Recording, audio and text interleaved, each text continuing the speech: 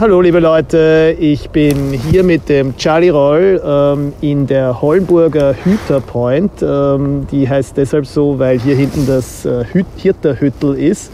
Und hier haben wir ähm, im, in den letzten zwei Jahren mit dem Charlie ähm, den, unseren Le Baron, den Chardonnay, ähm, aus Hollenburg à la Bourgogne gemacht. Und ähm, wir haben jetzt äh, vor einem Monat circa den 18er Jahrgang ähm, gefüllt und ähm, äh, das äh, ist ziemlich schön geworden. Und äh, Charlie, äh, was, uh, what's your opinion about this wine? How happy are you with this, um, with the result?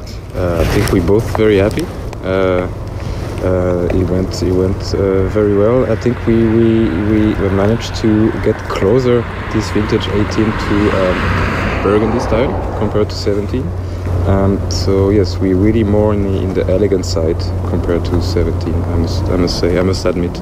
Okay, very good. Um, this uh, is really something I think uh, really very interesting. Um, I win, also ich glaube, man findet in Österreich äh, selten einen Chardonnay, der, der so nah an die äh, wirklichen Burgunder aus dem Burgund kommt.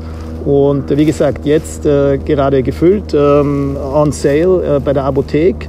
Ähm, auch ein super Weihnachtspräsent ähm, natürlich, ähm, schön aufgemacht von der Hollenburger Hüterpoint à la Bourgogne aus Österreich.